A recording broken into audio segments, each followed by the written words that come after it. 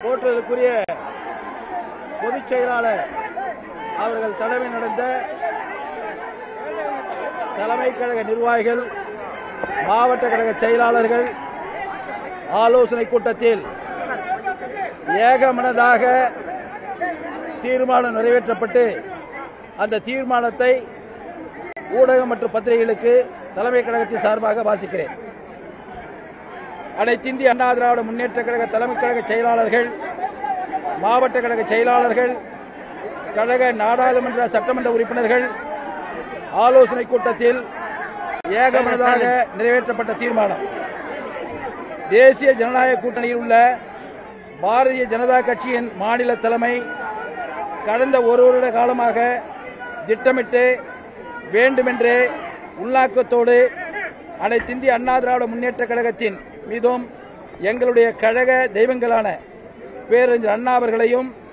இதய தெய்வம் மாண்புமிகு புரட்சித் தலைவி அம்மா அவர்களையும் அவதூறாக பேசியும் எங்கள் கொள்கைகளை விமர்சித்து வருகிறது. மேலும் பாரதிய ஜனதா கட்சியின் மாநில தலைமை கடந்த இருபது எட்டு இரண்டாயிரத்தி இருபத்தி அன்று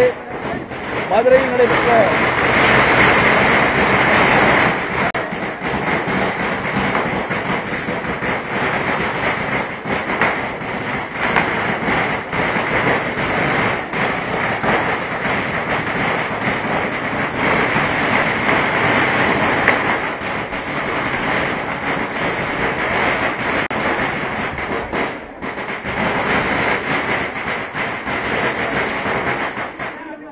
மேலும்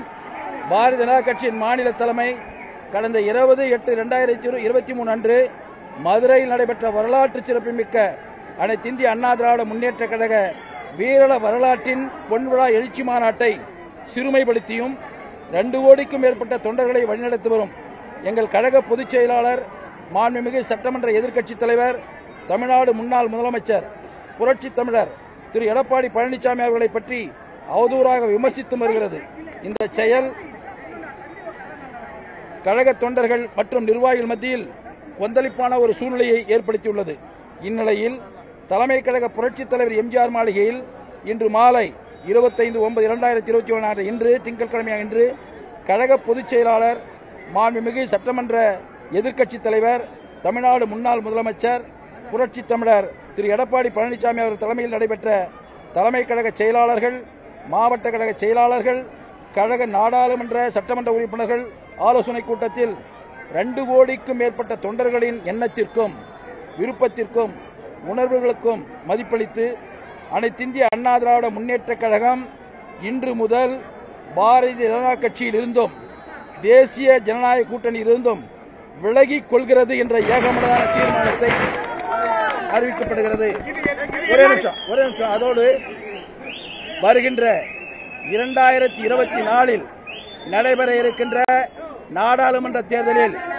அனைத்திந்திய அண்ணா திராவிட முன்னேற்ற கழகத்தினுடைய தலைமையில் போற்றுதலுக்குரிய எங்களுடைய கழகத்தின் பொதுச் செயலாளருடைய தலைமையில் மற்ற கூட்டணியோடு இணைந்து தேர்தலை சந்திக்கும் என்பதை நாங்கள் தெரிவித்துக் கொள்கிறோம். நாங்கள் எல்லாருமே சேர்ந்து எடுக்க முடியுமா இந்த இந்த முடிவை எல்லாம் எடுத்துக்கிறோம் ஏகமனதாக தேர்ந்தெடுக்கப்பட்ட முடிவு ஏகமனதாக தேர்ந்தெடுக்கப்பட்ட முடிவு முழுமையாக ஜனநாயக முறையின் அடிப்படையில் இந்த தீர்மானத்தை ஒருவர் கூட இருக்காமல் முழுவதாக நூற்றுக்கு நூற்று விழுக்காடுகள் ஏகமனதாக தேர்ந்தெடுக்க முடிவு என்பதை தெரிவித்துக் கொள்கிறேன் புதிய தலைமுறை சேனலை யூடியூப்ல சப்ஸ்கிரைப் பண்ணுங்க புதிய தலைமுறை சோஷியல் மீடியா ஹேண்டில்ஸ் ஃபாலோ பண்ணுங்க புதிய தலைமுறை ஆப்பை டவுன்லோட் பண்ணுங்க டிஜிட்டல் தளங்களில் புதிய தலைமுறை எங்கேயும் எப்போதும்